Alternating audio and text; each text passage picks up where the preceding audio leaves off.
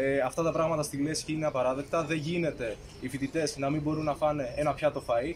Ε, αυτό συμβαίνει γιατί οι επιχειρήσεις έχουν μπει μέσα στη λέσχη. Αυτό συμβαίνει γιατί ο εργολάβος προσπαθεί να βγάλει όσο το δυνατόν ε, μεγαλύτερο κέρδος γίνεται και ε, γι' αυτό τον λόγο προσπαθεί να μειώσει τις μερίδες, να μειώσει την ποιότητα. Γιατί όπως είδαμε χθες μέσα υπήρχε και ένα ποντίκι μέσα στη λέσχη, έτσι, να τα λέμε και αυτά. Προσπαθεί να ε, ταΐσει όσο το δυνατόν λιγότερους φοιτητές γίνεται και τώρα αυτό βλέπουμε ότι αφορά τους ελάχιστους φοιτητές που έχουν κάρτα σύντησης και όλοι οι άλλοι να μείνουν ε, πεινασμένοι γιατί τα ελληνικά, αυτό είναι χτύπημα στους φοιτητές και στα ελληνικά νοικοκυριά ε, τα οποία δυσκολεύονται με αυτή την περίοδο ε, ανατιμήσεων, με αυτή την περίοδο ε, ακρίβειας που βλέπουμε στα προϊόντα, την κρίση, το, τα χρήματά μας που δεν μπορούν να πάνε. Τι να, πού να πρωτοπάνε, στο φαγητό, στο, στη ΔΕΗ, στο αέριο, ε, όλα αυτά τα. Μπαίνει ζήτημα καθαριότητας, μπαίνει ζήτημα απολύμανσης. Το ποντίκι είναι σοβαρό ζήτημα. Είναι πολύ σοβαρό ζήτημα. Ναι, εννοείται.